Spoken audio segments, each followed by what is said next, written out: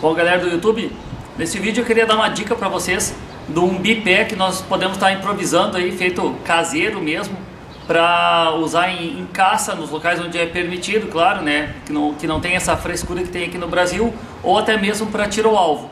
Eu tenho esse aqui da CBC, que, que já é próprio para essa minha carabina da CBC aqui. Só que ele, como é pequeno, como vocês podem ver, ó, dá para prender ele aqui, para fechar ele para transporte, e ele prende no cano. No caso eu tenho esse, mas ele como é curto, ele é para posição de tiro deitado ou escorado numa mesa. No caso, né? Já para se for tá, realmente tiver numa caça aí de sobrevivência e tentar usar ele numa posição onde tu não consiga tirar deitado, não vai servir para nada. Até provavelmente se for onde está com um mato meio alto aí, não vai ser, vai ser útil para nada esse modelo aqui de, de bipé. Mas, contrapartida, tem esse outro aqui que eu vi no...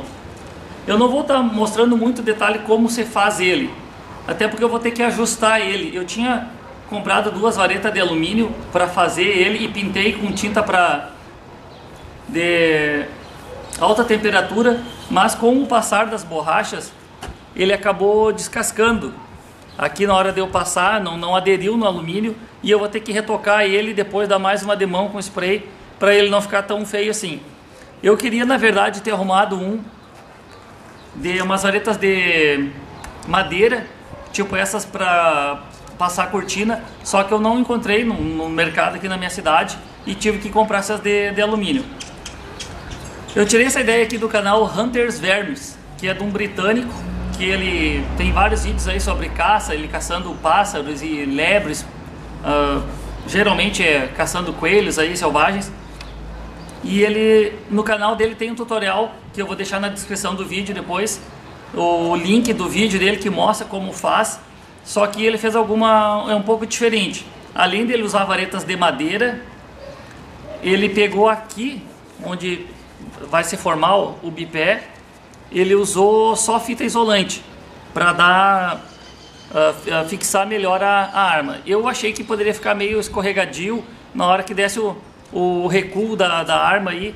Aí o que, que eu fiz? Eu comprei uns mangotes de madeira, uh, desculpa, de borracha, na verdade, e coloquei no, nas pontas das varetas. Deu bastante trabalho para colocar, a, a, acabei alugando a nega véia para me ajudar e foi, foi bem complicado para que ela entrasse com pressão e não ficasse escorregando. E aqui são anéis de borracha, como vocês podem ver, ó. coloquei anéis de borracha para daí a gente pode carregar ele normalmente, o alumínio é leve, né? Eu vou ter que, como eu disse, vou pintar novamente ele para não ficar reluzindo no sol, não ficar para ficar uma coisa mais furtiva. E aí, se precisar fazer o, o disparo, a gente pode usar ele na versão para tirar ajoelhado. Aqui ó, com a borracha ele fica bem firme.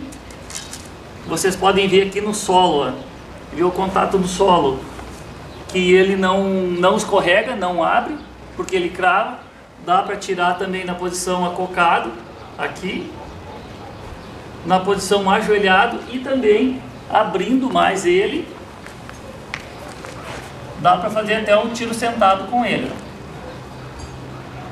Então ajuda a dar aquela firmeza porque todo disparo realizado com a luneta, se for atirar no pulso livre, uh, é ruim porque qualquer uma leve variação que nós tenhamos com o cano da arma aqui, com o zoom dado com a luneta, lá na frente vai dar uma grande diferença.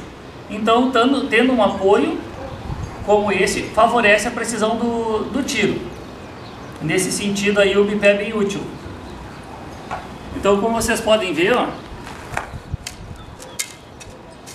ele fica bem firme em relação por estar preso aqui na borracha.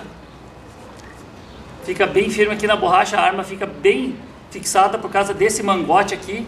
Não fica torcendo fácil porque ela acaba aderindo no, na borracha aqui, adere no, no, material da arma e realmente fica bem firme. Então fica uma, uma dica aí para fazer um disparo a longa distância com a luneta. Esse bipé improvisado aí, que depois o tutorial dele vai estar na descrição do vídeo. Vocês vão poder ver bem como que você, você faz ele aí. Vocês vão ver que é bem fácil, não, não tem mistério nenhum. Então fica essa dica aí desse bipé improvisado aí para uso em carabinas e demais rifles também. Tá ok? Espero que tenham gostado do review aí. 100% operacional.